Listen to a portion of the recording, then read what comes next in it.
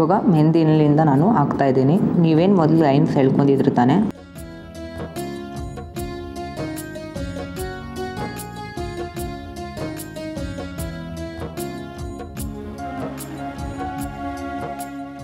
ಈ ರೀತಿಯಲ್ಲಿ ನಾನು ಮೆಹಂದಿಲಿಂದ ಪ್ರೆಸ್ ಮಾಡ್ಕೊತ ಡ್ರೆಸ್ಸನ್ನು ಹಾಕ್ತಾ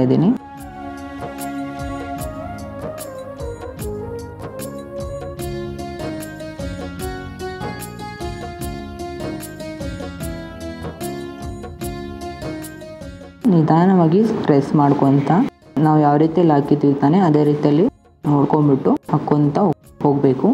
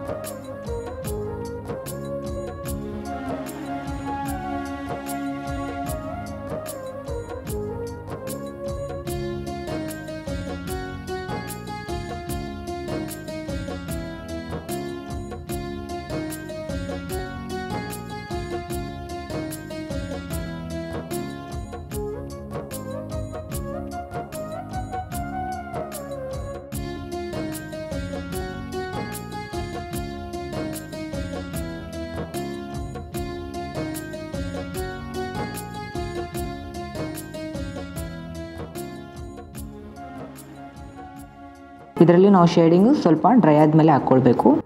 ಇದು ಲೈನಿಂಗ್ಸು ಎಲ್ಲ ತಿಕ್ನೆಸ್ ಆಗಿ ಹಾಕ್ಕೊತ ಹೋಗಬೇಕು.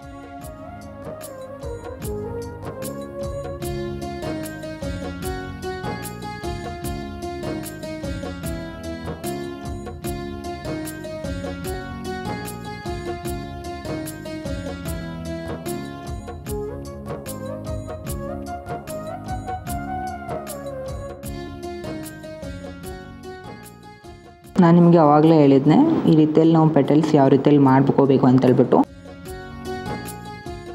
ಇವಾಗ ಇಲ್ಲಿ ಒಂದು ಲೈನ್ ಹೇಳ್ಕೊಂಬಿಟ್ಟು ಈ ರೀತಿಯಲ್ಲಿ ಸುಮ್ಮನೆ ಪ್ರೆಸ್ ಮಾಡ್ಕೊಂಬಿಟ್ಟು ಮುಂದಕ್ಕೆ ತೊಗೊಂಡಿದ್ದೀನಿ. ಇದು ಮೆಹಂದಿಯಲ್ಲಿ ತುಂಬ ಸುಲಭವಾಗಿ ಬರುತ್ತೆ. ಈ ರೀತಿಯಲ್ಲಿ ಅದು ನಿಮಗೆ ಕಾಣಿಸುತ್ತೆ.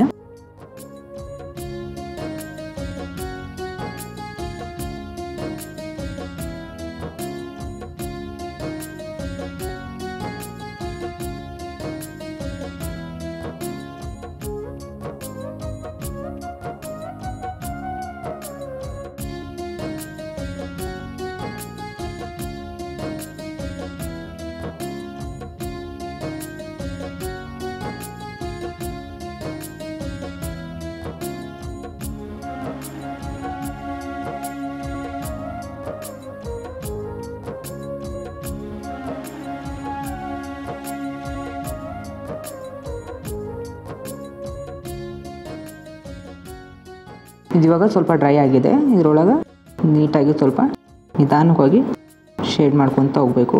ಒಂದು ಲೈನ್ ಬಿಟ್ಟು ಒಂದು ಲೈನ್ನ ಶೇಡ್ ಮಾಡ್ಕೊತ ಹೋಗಬೇಕು.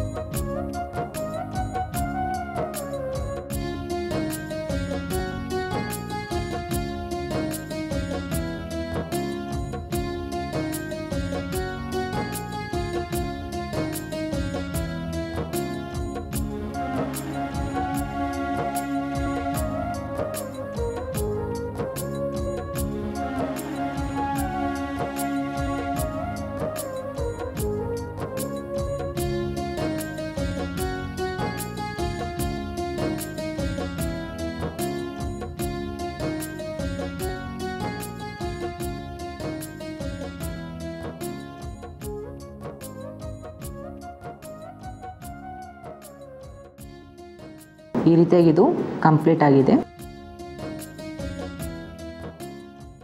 ಶೇಡಿಂಗ್ ಮಾಡ್ಕೊತಾ ಇದ್ದೇನೆ, ಸ್ವಲ್ಪ ಒಣಗಿದೆ.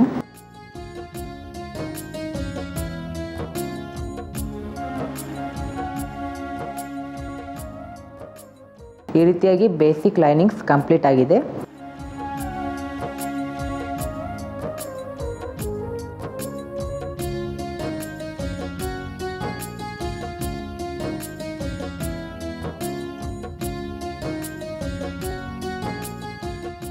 ನೋಡಿದ್ರಲ್ಲ? ಇವಾಗ ಬೇಸಿಕ್ ಲೈನ್ಸ್ ಮೆಹಂದಿಯಲ್ಲಿ ಯಾವ ರೀತಿಯಲ್ಲಿ ಹೇಳ್ಕೊಟ್ಟಿದ್ದೀನ ಅಂತ ಹೇಳ್ಬಿಟ್ಟು, ನೀವು ಸಹ ಇದೇ ರೀತಿಯಲ್ಲಿ ಪೆನ್ಸಿಲ್ ಮತ್ತು ಮೆಹಂದಿಯಲ್ಲಿ ಮನೆಯಲ್ಲಿ ಪ್ರಾಕ್ಟೀಸ್ ಮಾಡಿ. Thank you